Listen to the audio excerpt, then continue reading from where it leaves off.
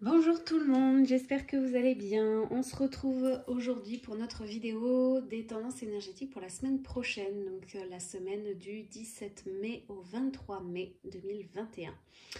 Euh, donc on va voir ce que les cartes ont à nous dire sur euh, bah, les énergies par lesquelles on va être bercé la semaine prochaine, ce sur quoi on vous invite peut-être à avoir une intention particulière. Il s'agit bien évidemment d'une guidance générale, vous allez prendre uniquement ce qui va résonner pour vous et c'est surtout c'est qu'en fonction de ce que je vais vous dire, vous allez eh bien l'appliquer à votre propre vie. Si vous avez besoin d'une guidance qui soit personnalisée, vous pouvez en faire la demande à travers le lien qui se trouve dans la description de la vidéo.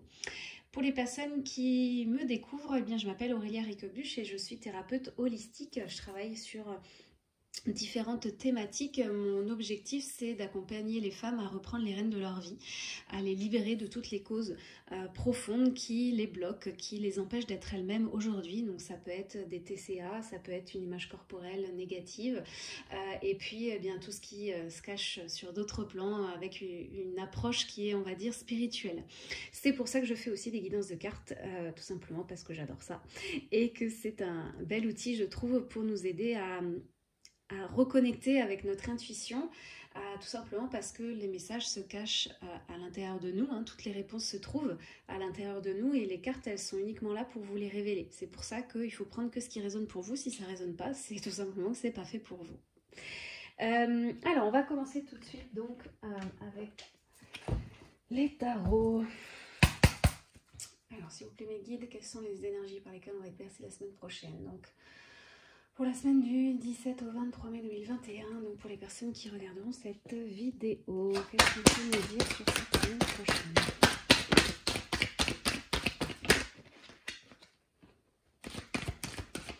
Ok, alors la première qui s'est retournée, c'est celle-ci. Elle, elle a sauté en deuxième et le troisième ici. Ok.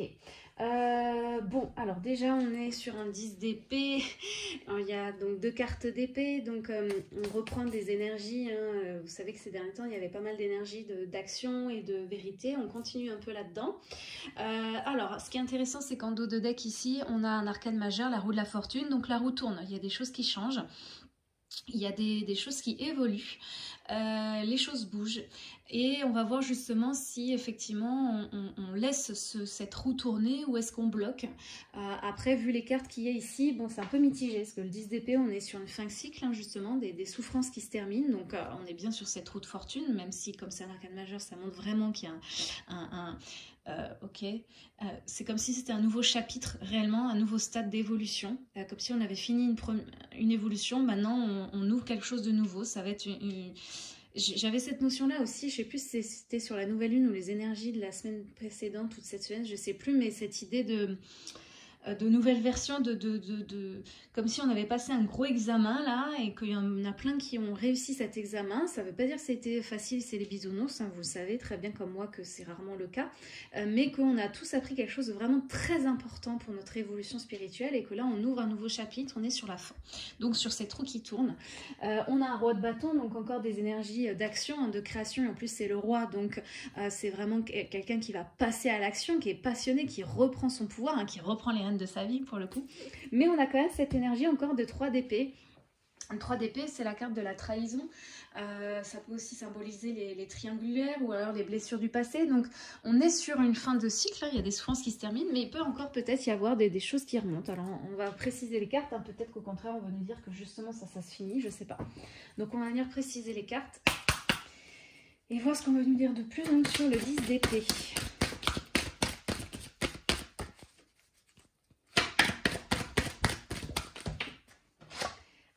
On nous parle d'une femme. Alors, soit la femme, c'est vous. Alors, je sais que vous êtes de nombreuses femmes à me regarder, euh, mais ça peut être une femme aussi dans votre entourage, ou ça peut être une mère, une conjointe, une collègue. En tout cas, c'est un cycle qui se termine en lien avec la femme. Ok Alors, Là, ce qui me vient là, c'est l'impression que euh, c'est en lien avec euh, la femme, genre féminin sacré, la position de la femme comme si c'était euh, l'image qu'on a de la femme, sa position, toujours en mode soumission, etc. Comme si on était sur un, cycle très important où la femme justement reprend son pouvoir et redevient réellement l'égale de l'homme d'un point de vue équité, parce qu'encore une fois, nous ne sommes pas égaux, hein. on est quand même, c'est quand même deux sexes différents, donc on n'est pas égaux, personne n'est égaux, on n'est pas identique. Pareil. Par contre, il y a une notion d'équité, c'est souvent ce qui ressortait dans les cartes, mais là j'ai l'impression que c'est alors, je vous parle d'un point de vue énergie générale et globale, mais ça peut aussi être un tirage pour vous, votre situation perso. Mais je, ressens là comme si c'était euh, voilà, la position de la femme. On est sur un cycle qui se termine enfin et, la femme qui reprend justement son pouvoir.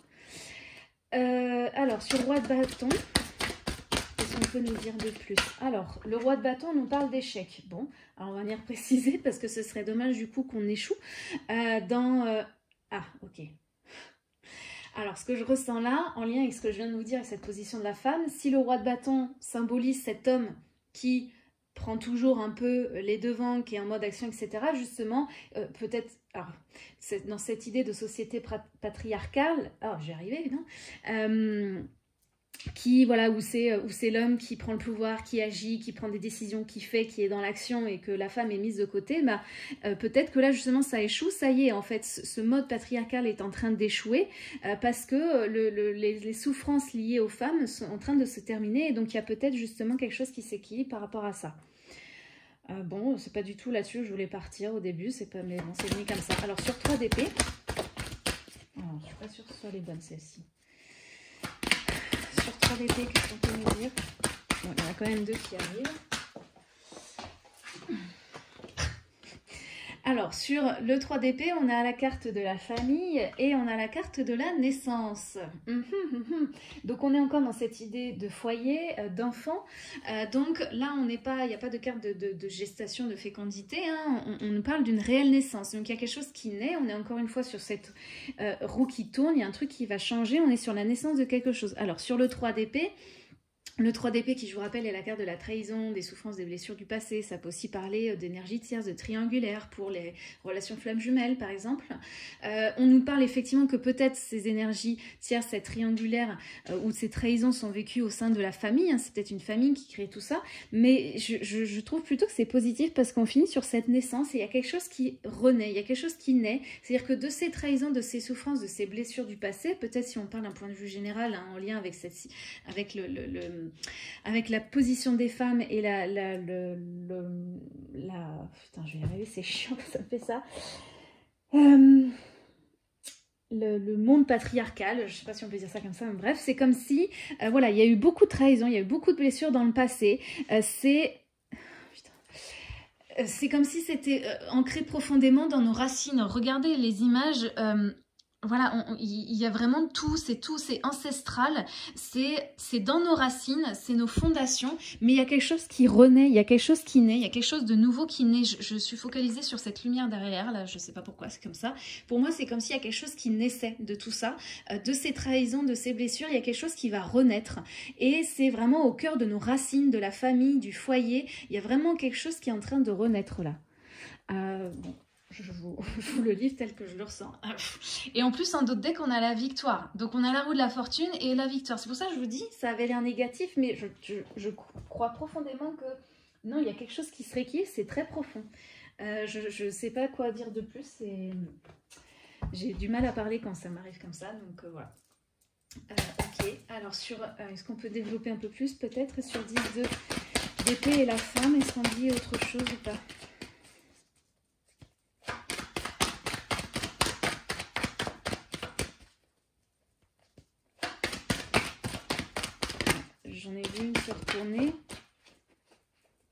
Mais c'est retourné. Ok. Euh, bah, je vais garder celle qui a sauté. Alors, c'est l'espoir. Euh, oui, c'est l'espoir, c'est l'étoile. Euh, majeur, encore une fois. Donc, l'étoile, on nous dit d'avoir foi justement dans, le fait que ce cycle peut-être se termine. Alors, bon, là, je, suis très restée d'un point de vue généraliste parce que je sens qu'on m'a transmis cette info-là. Alors, je vous la livre telle qu'elle soit, telle qu'elle est. Putain, c'est horrible. Après, encore une fois, vous pouvez adapter ce tirage à votre situation. Si vous êtes une femme, voilà, dites-vous qu'ainsi qui, se termine, c'est l'espoir. Il y a quelque chose, il y a un renouveau, vraiment. Il y a quelque chose qui tourne, c'est une victoire. Il y a vraiment, euh, voilà, pour certaines, voilà, la naissance de leur enfant intérieur, la naissance d'un enfant, la naissance d'un projet. Euh, voilà, peut-être qu'il y a eu des blessures, des trahisons, mais encore une fois, on vous dit que, voilà, le, s'il y avait un homme dans le parage qui faisait court-circuiter le truc, ben, on vous dit que c'est un, échec. On vous dit aussi, sinon, peut-être que, euh, peut-être que là, justement, il ne faut pas être dans des énergies trop d'action. Euh, on y va, on y va, on y va. Non, faut peut-être justement prendre juste le temps de penser ses blessures, de se laisser aller et, euh, de comprendre ses blessures du passé, la souffrance en lien peut-être avec une famille, etc. pour laisser naître ce projet. Euh, vous pouvez l'adapter évidemment à votre situation, mais en tout cas, je pense que ce tirage, sinon j'aurais pas reçu ce que j'ai reçu, c'était vraiment pour vous parler d'un point de vue général sur la condition de la femme et l'homme et voilà comment est-ce que ça se c'est différentes. Euh, j'arrive même pas à trouver le mot, c'est chiant. Bon, vous avez compris quoi. Euh, alors, roi de bâton, échec.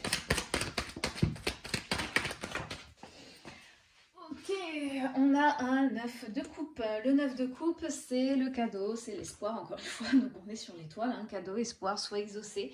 Euh, donc on vous dit que si la, la, façon d'être, la civilisation, le monde patriarcal, si ça échoue, euh, c'est parce que c'est un espoir, c'est un cadeau, c'est un souhait qui est exaucé pour justement plus d'équité et de partage et d'équilibre donc euh, entre les femmes et les hommes, avec chacun et chacune nos compétences, nos qualités, nos aptitudes, euh, les choses qui nous font défaut. On est là pour se complémenter. Euh, donc, encore une fois, espoir, espoir. Alors, on va voir du coup sur 3DP, la famille et la naissance.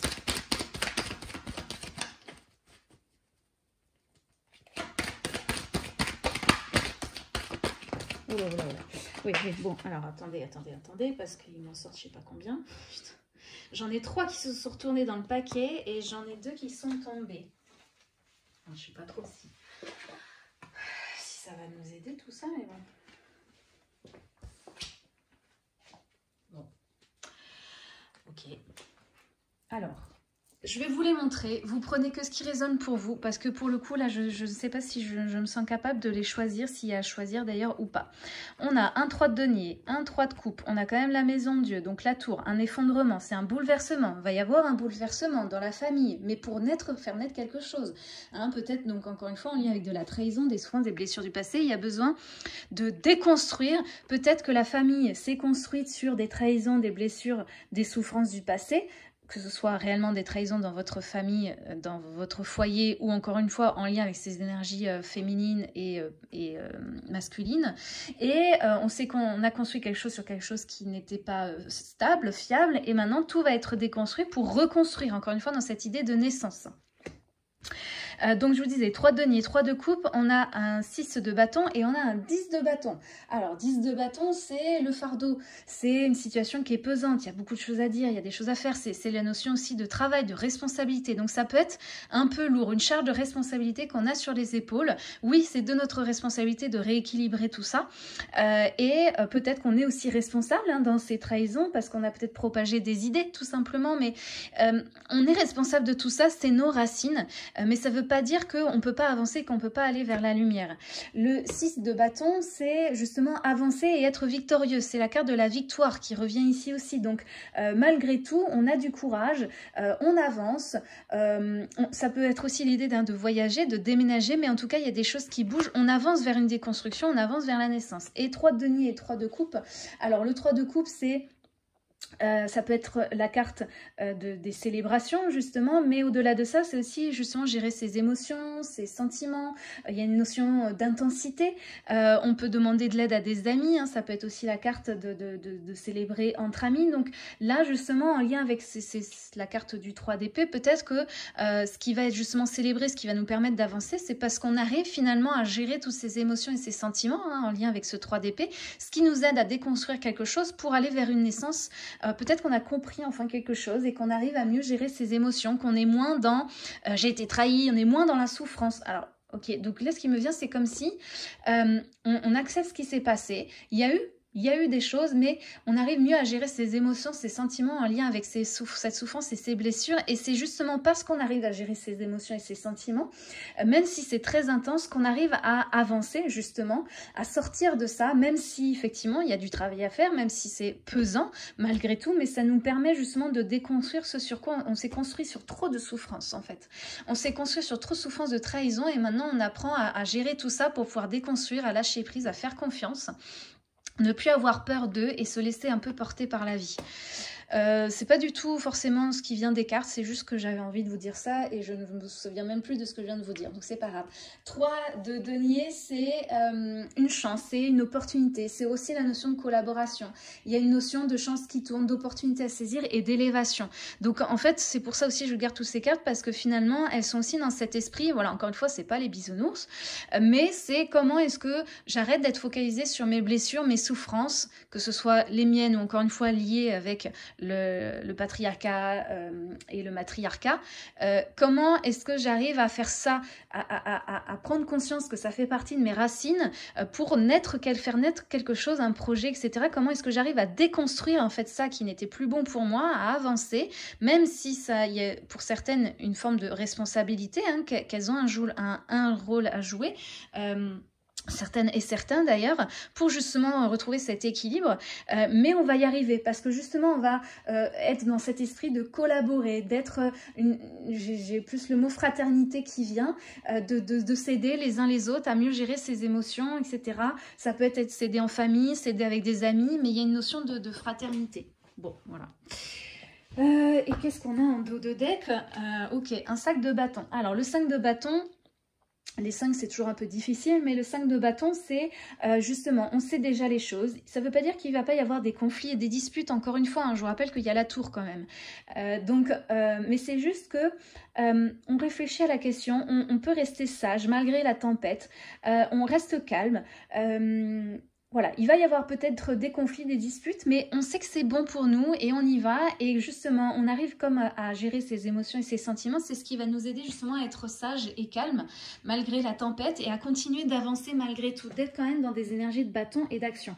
Parce que, bon, on a euh, deux coupes, mais on a quand même pas mal euh, d'épées et de bâtons, hein, du coup. Euh, alors, qu'est-ce que j'ai envie de faire de plus? Alors, au niveau énergétique... Qu'est-ce qu'on va nous dire de plus pour la semaine prochaine niveau énergétique Qu'est-ce qui se passe Qu'est-ce qu'on Sur quoi on va travailler Alors là, il y en a deux d'un coup. Je ne sais pas si c'est bon. Je vais remettre dedans. C'est pas bien si vous m'en sortez une par une, s'il vous plaît. Oui, bon, d'accord. Bon, alors, il y a celle-ci qui est sortie. On nous parle de karma familial. Bon, bah voilà, je vous parlais de famille. Il y a des choses, voilà, dans la famille, c'est nos racines. Il y a des choses qui se libèrent aussi dans le familial. On nous parle de la colère. C'était aussi la carte qui était ressortie, je crois, pour la nouvelle lune. Donc il y a encore de la colère peut-être par rapport à ces situations-là qui vont euh, ressortir. C'est peut-être pour ça, encore une fois, que euh, c'est lourd quand même. Euh, on, va libérer des choses, mais c'est lourd. Hein. mais on est quand même sur une fin de cycle. Et j'ai quand même ces deux cartes qui se sont retournées dans le paquet. Donc je vous les montre. Chaque acte du plexus solaire, donc c'est moi. Moi et mes émotions. Qu'est-ce que je montre aux autres? Qui je suis? Mon estime de moi Ma personnalité. Qui je suis? Qui je suis et qu'est-ce que je montre aux autres? Et euh, on a les liens toxiques. Donc en lien avec ce karma familial, peut-être qu'on continue de couper des liens toxiques justement qui nous empêchent d'être dans cette naissance. Ok, et en dos de deck, bon, la carte du passé, ça c'est assez euh, classique, j'ai envie de dire, surtout vu les cartes qui sont ressorties. Euh, non, je n'ai pas envie de faire une exit. Est-ce qu'il y a un conseil, un message de notre âme par rapport à ce tirage et les énergies de la semaine prochaine pour les personnes qui regarderont cette vidéo?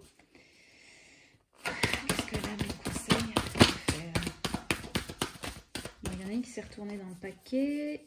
Ok. Euh, alors, celle qui s'est retournée dans le paquet, c'est celle-ci. Laissez mourir. Le temps est venu de mettre un terme à une relation, à un schéma ou à une situation toxique et néfaste. Laisse la vie t'éloigner de ce tourment, fais de la place dans ta vie et dans ton quotidien pour un renouveau. Bon, bah ça résume un petit peu tout ce que j'ai dit ici. On va la mettre ici. Et en dos de deck, on a quoi? On a semé sa graine, hein, aussi dans l'idée de naissance. Hein.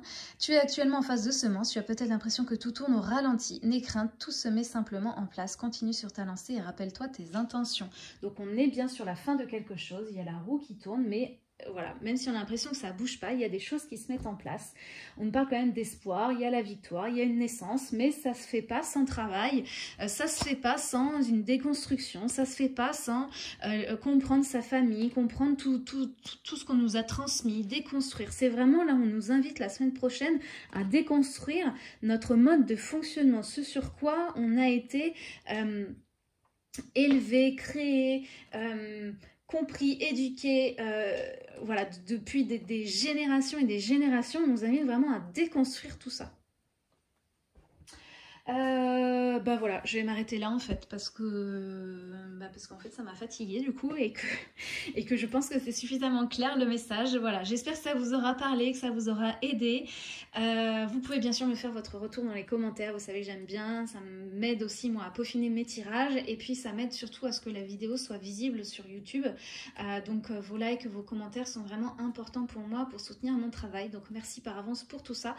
Merci pour vos messages que vous m'envoyez euh, souvent en privé pour me dire que vous regardez mes tirages et que ça vous parle toujours. Donc euh, je suis ravie de ça. Merci beaucoup euh, de, me suivre. voilà, je suis très contente pour tout ça. Merci beaucoup. Je vous dis à la semaine prochaine pour une nouvelle vidéo avec les prochaines énergies. Et d'ici là, eh bien, je vous souhaite tout simplement une très belle semaine. À bientôt